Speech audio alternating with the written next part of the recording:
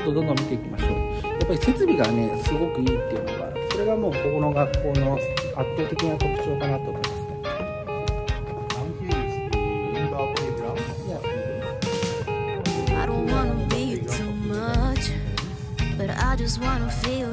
ボルダリングとかもあるけどそうですね Yeah. I just wanna go where your love take me. I'm losing my sanity. You take me under. surrender. You're making me land on other side of gravity. Boy, you got me under. Boy, you got me fond of. Boy, you got me in.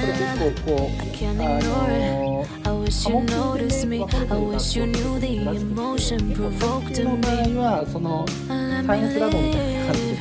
Let me live again. I'll take no more from you. You got my soul.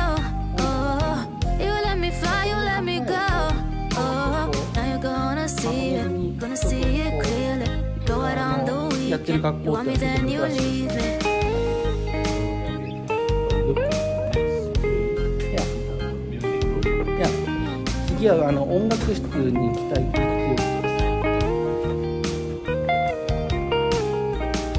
なんか今こうちょうど中国もまあ不動産バブルが弾けてるとなかなかきついんじゃないかなみたいなところですけどインターナショナルスクールは本当に切さんです Okay, so here's the music room.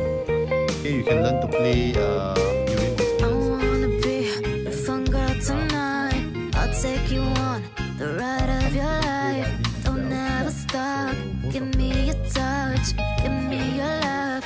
Give it some more. まああの結構バイオリンとかドラムとかギターとかあの弾いてる生徒さんが多いっていうそういう話でまあ割と本当にあの設備が充実してる学校さんもやっぱどこの学校もかなりこう音楽教育ってまあ力を入れて かなり設備いいんですけども I あの wish そ you れがまあ改め noticed て me. よくわか I る wish you knew the emotion provoked in me.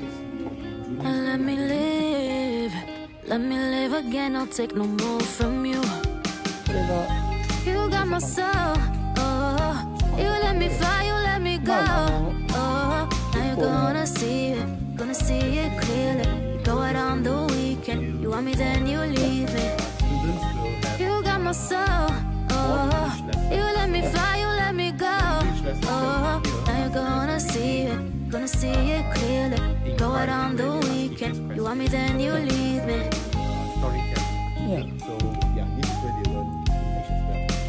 まあ、あのここでいろいろ英語の本とかこういうふうな形でこう読んだりすることで結構生徒さんがこうその英語力鍛えたりとか,なんかこうあの物語をこう伝えたりとかですね。あのそういう能力がこう高くなっていくっていうふうなそういうふうな感じですね。